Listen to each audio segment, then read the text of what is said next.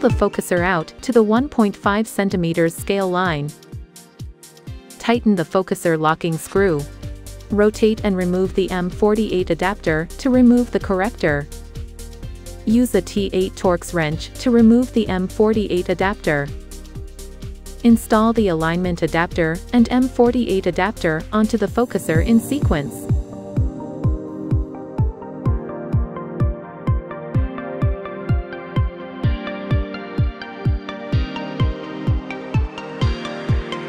Install the 1.25-inch adapter and collimating eyepiece in sequence. Now you can start calibrating the optical axis.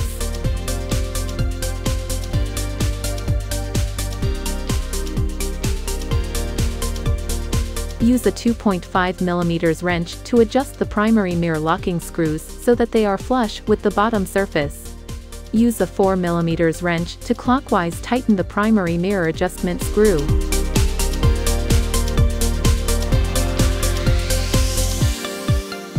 Loosen all three secondary mirror adjustment screws. Tighten the secondary mirror locking screw until the secondary mirror holder can be turned with force.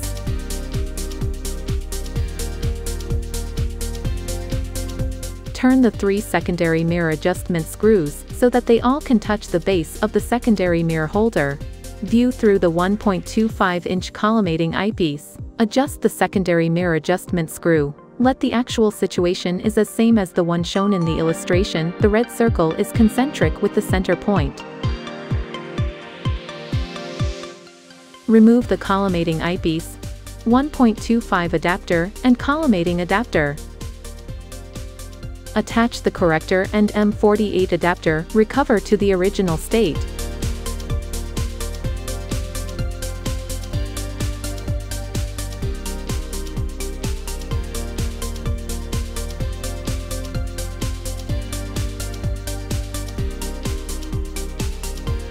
Connect an eyepiece or a camera and make the 15028HNTL in focus.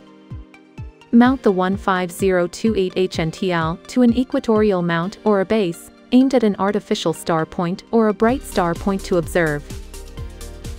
Adjust the focuser to make it in a state where it is about to be in focus, and if the star points isn't a concentric circle, the primary mirror will need to be adjusted.